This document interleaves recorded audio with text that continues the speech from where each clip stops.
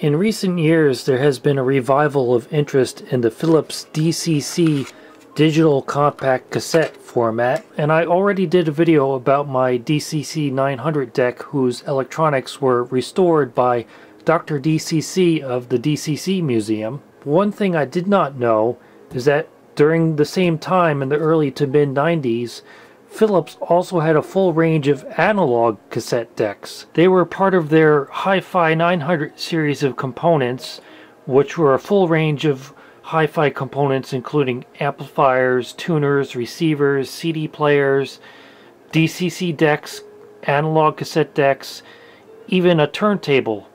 So they had a full range of hi-fi components during this time and I haven't really seen many reviews of their analog cassette decks that were part of this series of components, so I thought I would pick one up and try it out. Because on one hand, Philips invented the analog compact cassette, so you would think they would do a good job of making cassette decks.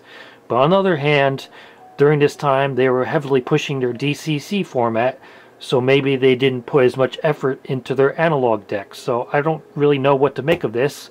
There's only one way to find out. This one is the FC931, which I believe is the top of the range analog cassette deck that they sold in North America. In Europe, they also had the FC940 and 950, but I don't believe those were ever sold in North America. At least I couldn't find any for sale. But I was able to find this one on eBay in the original box, supposedly unused, although the seller did open it up to take photos of it. Otherwise, it should be as good as new. This one was originally meant to be sold at a Dillard's department store in Gilbert, Arizona. It has a manufacturing date of June 1994. And there's a price tag here. I don't know if this is the original price tag, but it says $179. They call it the Double Logic cassette deck because it's a double cassette deck and they're both full logic. So they have soft touch solenoid driven controls twin auto reverse, Dolby B and C noise reduction, and HX Pro headroom extension, automatic bias control, real time tape counter, so it gives you minutes and seconds, not just a number counter, and system intelligence bus to control this from other Philips 900 series components. As for where this thing was made, you might think the Netherlands, where Philips is from, or maybe Japan or China. But no, it was made in Portugal. So let's open up the box.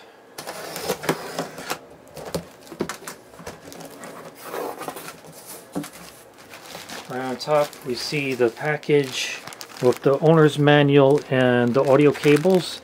Two sets of RCA cables. Still taped and sealed, so that has never been opened. And now the cassette deck itself in its original packaging.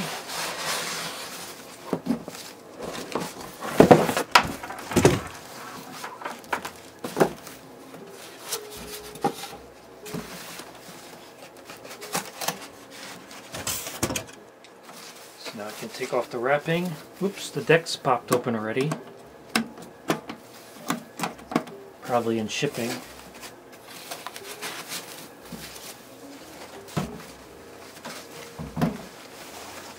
And it still has the wrapping on the power cord.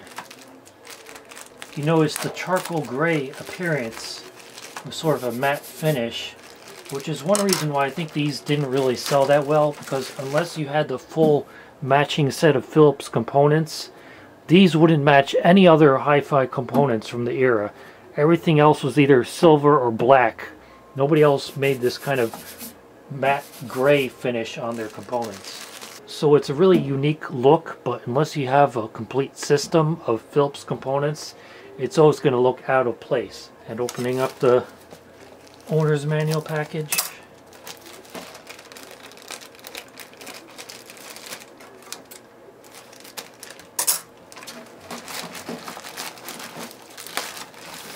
Nice glossy paper, also printed in Portugal.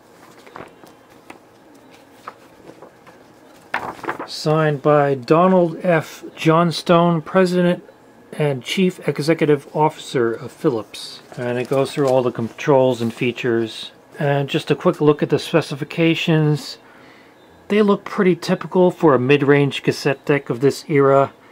Nothing really outstandingly good or bad about them. They're pretty average for the era, so should be a fine performer. And I noticed right on the front of the manual here, they put this badge saying, a product from Philips, inventor of CD and DCC.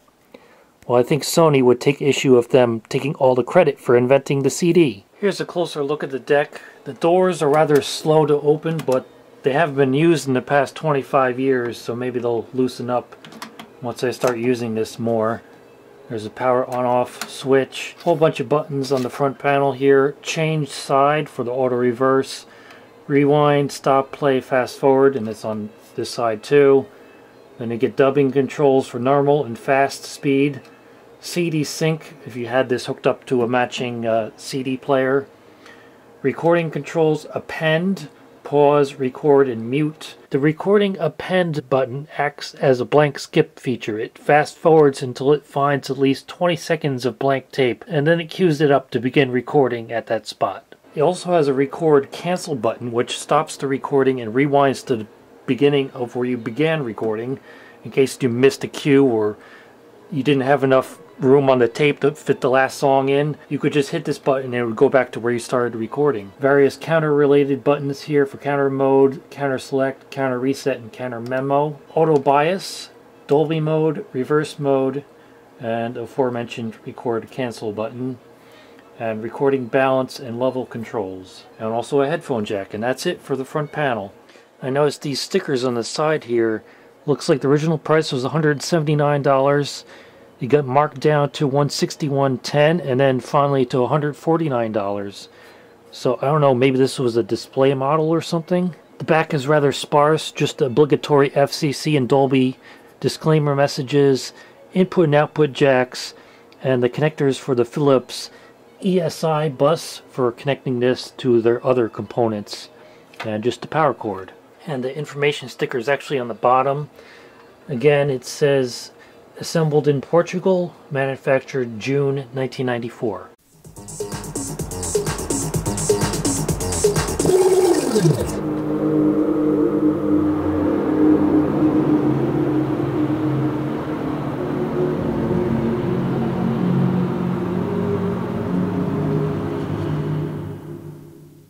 I am happy to report that despite being almost 26 years old, this cassette deck works perfectly.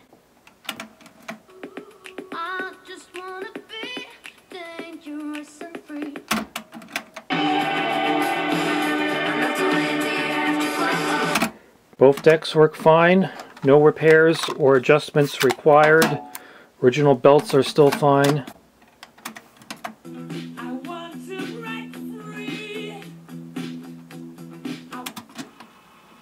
The controls are very fast and responsive. And with a good quality recording, the Dolby noise reduction does not muffle the highs at all. It sounds very crisp and clear.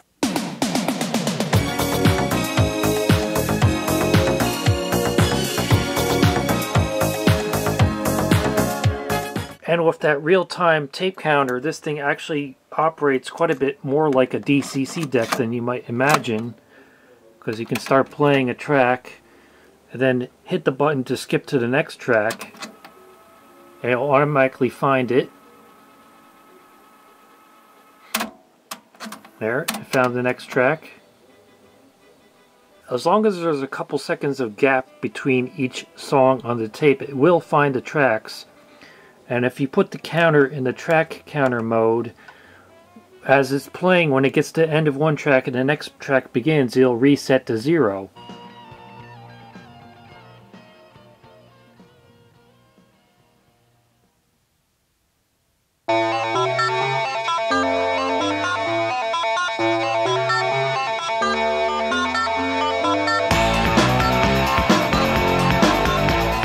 Or you can just have it in the time counter mode where it'll keep counting up for the entire length of the tape or it can just have it on regular numbers. The counter memo button remembers the current counter reading when you press it, so then later when you rewind the tape it'll automatically stop at the memorized counter reading. And the counter on this must have some kind of non-volatile memory because I've had this thing turned off and unplugged for several hours and I just turned it back on and it remembered all the counter readings for both decks. Looking inside the tape compartment, you can see it uses a rotating head, which is the way most auto-reverse cassette decks work. And when I first saw that the head was at this angle, I thought it was broken, but that's actually the way it was designed. If I hold my finger on the sensor to make it think there's a tape inside, and I hit play, you can see it flips the head around to the correct angle, and if I hit change side, it flips around to the other side. So you can see that's how the mechanism is designed.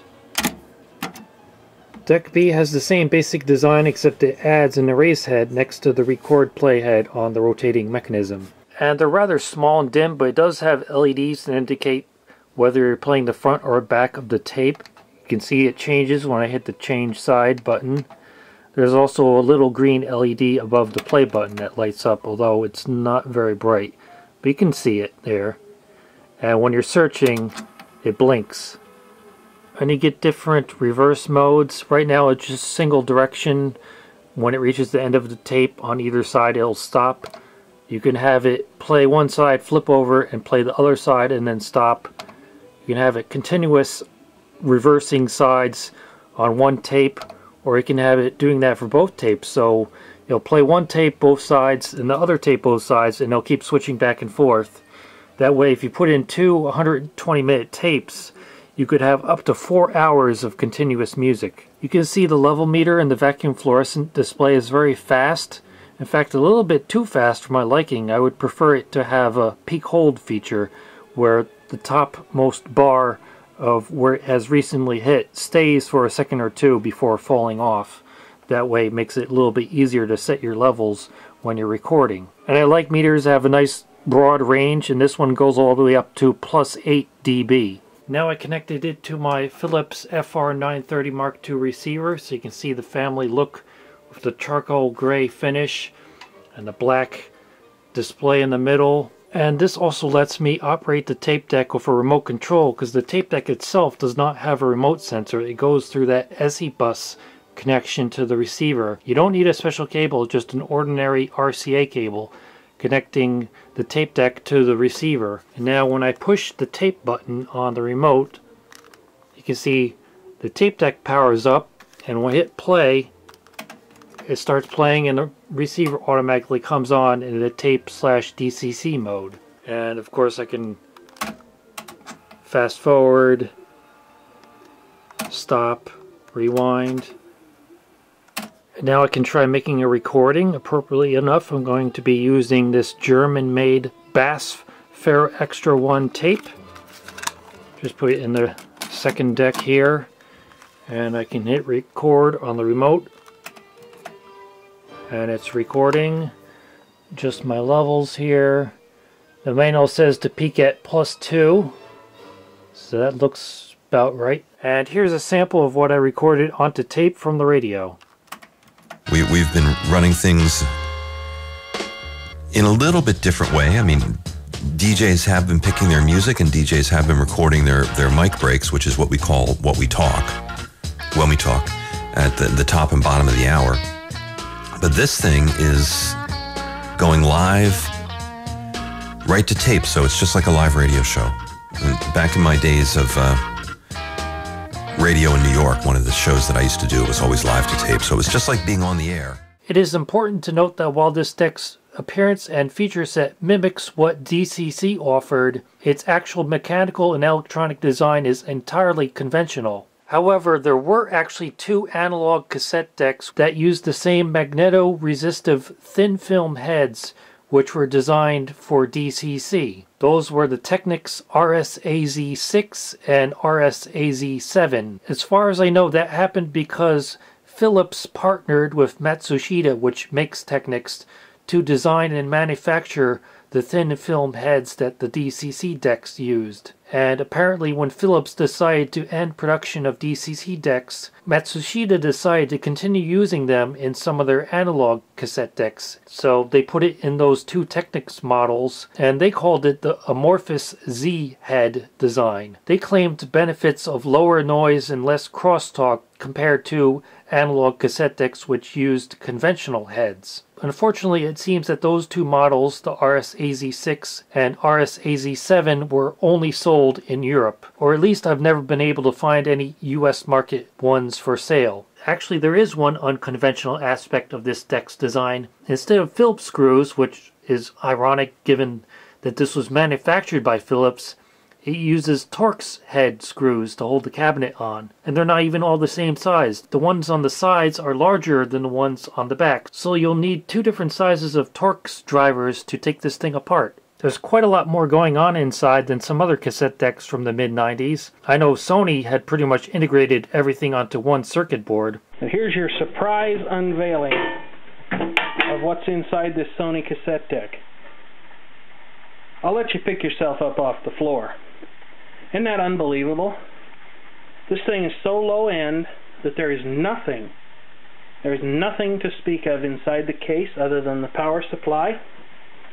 And there is also the cassette mechanism, but all the logic and circuitry and things like that are up in the front. But one really good thing is that unlike the DCC decks, there are no surface mount electrolytic capacitors which are prone to leaking and corroding the circuit boards. So that explains why this is still working perfectly after almost 26 years, while a lot of DCC decks need to have those capacitors replaced. There are a lot of trimmers on the circuit board for various adjustments, and unfortunately they're not marked on the circuit board as to what they do. However, there is a service manual that you can find online for this deck to help you make those adjustments. There you can see the Dolby chip. It was manufactured by Sony. The mechanisms use Matsushita motors, and as far as replacing the belts go, it's going to require some disassembly.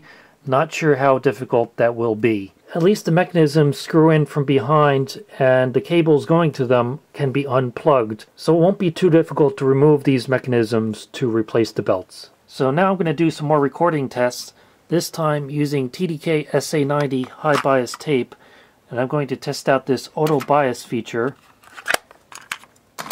Put in the blank tape, you hold down the auto bias button for two seconds.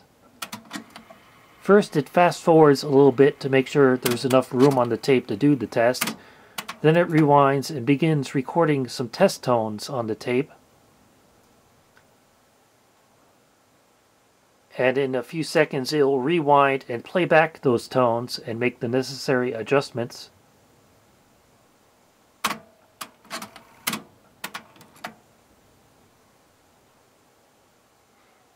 If this was a three head deck, it will be able to do the adjustments in real time as it was recording, but since this is a two head deck, it needed to rewind and play it back. Sometimes it does a second pass. This time it did not need to. I guess it depends on how far off the calibration of the tape is compared to the reference standard this was originally designed to work with. TDK SA tape was regarded to be the industry standard, so it's probably very close to the factory specifications of this deck. So that's why it did not need to do a second pass. It wasn't that far off. For my recording test, I'm going to be using Dolby C noise reduction to give you the best example of this deck's performance. And you're going to be listening to some radio commercials. Don't let fire fool you. Keep Idaho green. This Idaho was made for you and me. Create your space, defend your place. Wildfires stop with you. It's our responsibility. Keep Idaho green. We're on the same team, Team Idaho. Think before you strike. It's easy, don't you know? Keep you cool when things get hot we won't get burned. We can all do our part if we learn. Don't give an old flame a new game. It's up to you and me. Don't let fire fool you. Keep Idaho green. Don't let fire fool you. Keep Idaho green.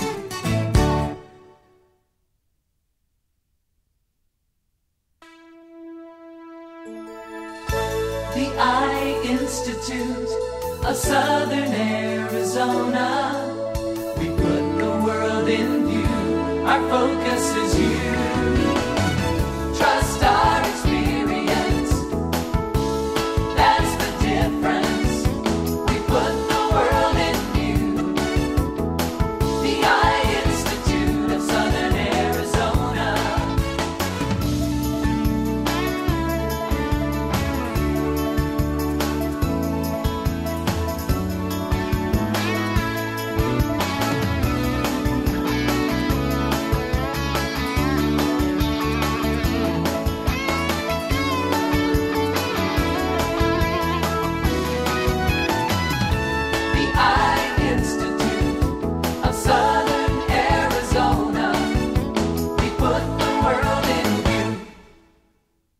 So, this Philips FC931 turned out to be an entirely respectable cassette deck. It's not the best one I've ever heard, but for something that sold for $179 when it was brand new, it was never meant to be. It's just a good mid range double cassette deck with all the usual features of its era, and it just shows that even more than 30 years after they invented the compact cassette, and after they were already intending to replace it with the DCC, Philips still put pretty good effort into making these analog cassette decks. And I actually really like this charcoal gray matte finish that Philips used on these components.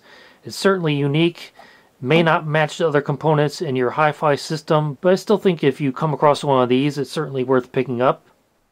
So you can tell. What job you should do, what person you should marry, what car you should drive. Well, how exactly? It's a very sophisticated, highly scientific analysis of your core personality traits. So how's this work? What's your name? Murray. You should be a dentist. You should marry a skinny brunette named Barbara. You should drive a luxury European sedan. Because my name's Murray. Exactly. But I'm an architect. Big mistake. I date a tall blonde named Debbie. Dumper. And I lease a Jeep Cherokee Sport. People who drive Cherokees are rugged, adventurous, and they're not named Murray. I mountain bike, I scuba dive, I ski. You're gonna hurt yourself. But I love the Jeep Cherokee's 4 liter 190 horsepower engine. Really powerful. My off road package with rear Trac-Lok differential. No, you don't. Yes, I do. If your name was Jake or Mike or Jim, then you could drive a Cherokee maybe, but Murray? Look, I always wanted a Jeep, and by the way, Murray's my last name. Oh, well, that explains everything. What's your first name? Francis. You should sell flowers. You should marry an orthodontist. You should be a woman. But I'm a man. Hey, I can't solve all your Oh, problems. I can't believe I'm sitting here Yeah, listening. That's a Murrayism. Jeep Cherokee. See it at your California Jeep and Eagle dealer. Jeep, there's only one. Jeep is a registered trademark of the Chrysler Corporation. Always wear your seatbelt.